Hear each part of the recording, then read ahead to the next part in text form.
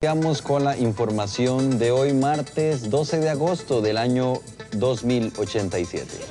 Empezando con las noticias, en el campo internacional, la empresa líder de la industria automotriz, Mitsuyota, sacó al mercado su vehículo más económico para que usted no tenga que preocuparse por el aumento en los combustibles. El nuevo modelo se llena con tan solo 975 mil colones. Y el presidente vitalicio venezolano Hugo Chávez está muy molesto en el hospital geriátrico donde se encuentra internado.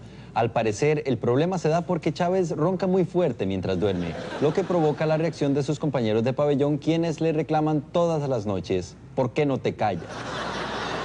Y volviendo al campo nacional, oficiales de Alterra declararon que se espera que este año culmine la construcción del aeropuerto Juan Santa María, que inició en el año 2002. La empresa española aseguró que después de 85 años espera entregar un aeropuerto de clase mundial.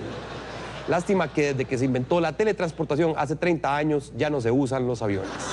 Asimismo, el Ministerio de Obras Públicas y Transportes informó que posiblemente este año se termine el tramo Villa Colón-Orotina.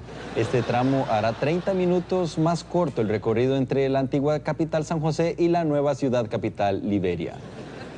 El ministro de Transporte del año 2015 justificó hoy su polémica decisión de hace 72 años de no volver a reparar los huecos en las calles. Según dijo, gracias a mi visión, esos huecos ya atravesaron el planeta y representan la principal vía de importación y exportación con China, nuestro principal socio comercial.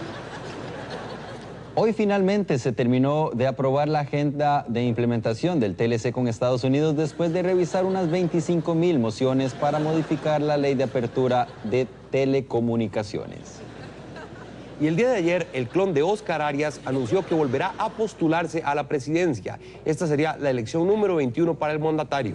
Esto sumando las 14 del mandatario original y las 7 de su clon. Continuamos con la sección deportiva. Adelante, compañero. Saludos, hermanos hispanos, y bienvenidos a la sección deportiva.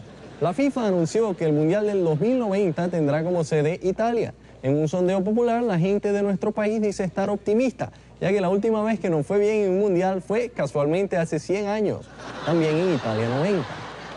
Y según declaraciones dadas en el entrenamiento de hoy de la selección nacional, el entrenador Celso Borges convocará de última hora a Luis Marín para la eliminatoria. Marín en su partido 4000 se prepara para anotar a favor de la selección. Por último, les recordamos que este fin de semana se celebrará el 147 aniversario de la no campeonización del Club Sport Cartaginés. Habrá rifas, comidas y un campeonato de arqueólogos, quienes intentarán encontrar el muñeco que se encuentra enterrado en algún lugar del campo de juego. Esto es todo en deportes y nos vamos ahora con espectáculos. Muy buenas noches amigos y empezamos con las noticias de farándula. Los paparazzi se volvieron locos tomando fotos de Britney Spears, quien presuntamente se había vuelto a rapar. La cantante de 106 años expresó que esta vez no se rapó, simplemente se quedó calva. El día de ayer, en la edición número 86 de Balando por un Sueño, Mauricio Hoffman tuvo que retirarse de la competencia por una fractura de cadera, mientras que Eric Lonis tuvo que interrumpir su baile de cha-cha-cha para que se le proporcionara oxígeno. La producción del programa declaró, creemos que después de 86 años de concursos, algo nos dice que ya va siendo hora de que cambiemos a los famosos. Esto es todos los espectáculos, así que volvemos con ustedes en el set principal, compañeros.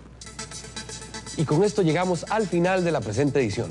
Muchas gracias por acompañarnos. Nos vamos porque sigue Teleclub. Teleclub. Felicidades a doña Inés Sánchez que hoy celebra 130 años de transmisión ininterrumpida de su programa. Buenas noches. Muchas gracias. Nos vemos en la próxima edición. Buenas noches. Samsung presentó el sketch de la media docena.